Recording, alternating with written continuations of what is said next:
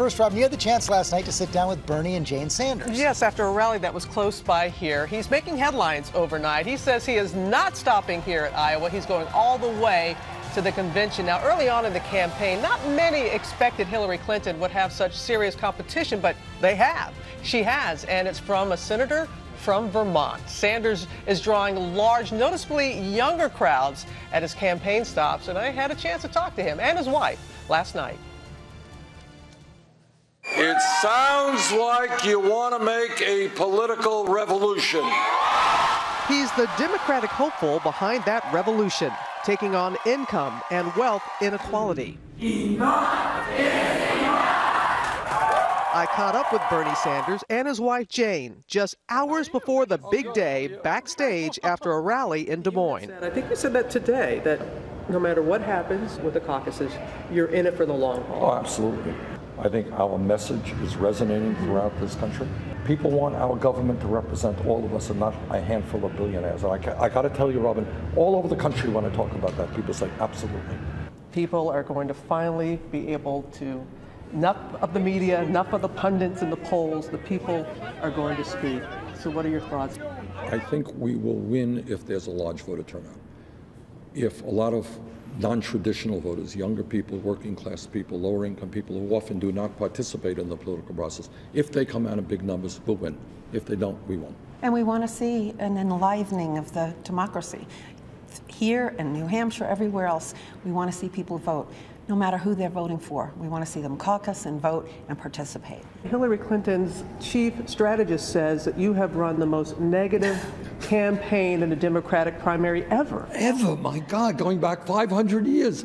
I have tried my best to run a positive, issue oriented campaign, never making personal attacks against Hillary Clinton, debating the issues. So when they talk about me running a negative campaign, that's just absurd. I've never run in my entire political life a negative ad. Mm-hmm. Not too many people can say that. Mm-hmm. I heard that you went to the White House and there were only two people who were not wearing a tux, you and Nelson Mandela. Is that true? Yes. Mm-hmm. So if there's an inaugural ball, will you then finally? I don't think so. I, you know, I think, you know, I probably got myself in a lot of trouble right now, but, you know, and my wife disagrees with me, no doubt. But a tux is kind of a symbol of class privilege. You know, it says, hey, I'm really important and I'm fancy and you know, you're something else. That's all. Senator Sanders joins me now. You told my colleague recently, Martha Raddatz, uh, with, with tongue in cheek, that you've got a big ego like most politicians. yes. How do you stay grounded? It's a very humbling and That's scary and scary word. experience because mm-hmm. people are putting so much faith into you that you know you don't you know it's it's it's difficult. You know you don't want to let people down.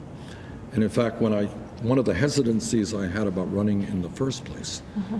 was that I didn't want to let people down. Mrs. Sanders, you said this is the reason you fell in love.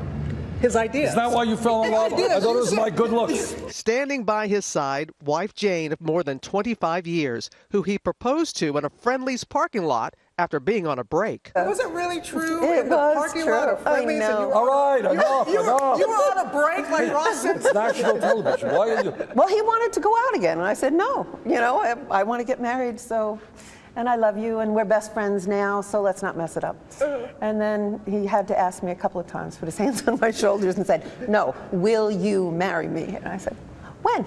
Look forward to having you be the commander. I saw the big hug that you gave a veteran on the way out, and I know, Mrs. Sanders, you said when a veteran stopped you all, when you were on the fence about whether or not your husband should run, that sealed it for you. That is. I mean, people were counting on him. And when people are counting on you, you have to deliver. We are going to make American history on Monday night. You were used to this underdog type of position. They always say he can't win, he can't be a congressman, then he can't be a senator. Each time he's proven them wrong. So what? this year. What is it what that you nice wife. That's very nice. I'll take you out to dinner. Okay. okay. Last night was his 100th stop here in the state of Iowa. And as you can see, his wife, as often is the case, brings out another side. Another side, but also, you know, she taps into his core strength, persistence. He had to ask yeah. her many, many times. And I yeah. remember I, I, was actually working in Congress 25 years ago when he first got to the Congress. And one of the most striking things about Bernie Sanders, his message has been consistent all these mm-hmm. 25 mm-hmm. years. And when he ran for mayor, 10 votes. He won by 10 votes. So he has that tenacity, but he, you're right, he stays on message. He believes in what he believes in, and he has been consistent throughout. And From we'll being see what married to- happens yeah, tonight, no question.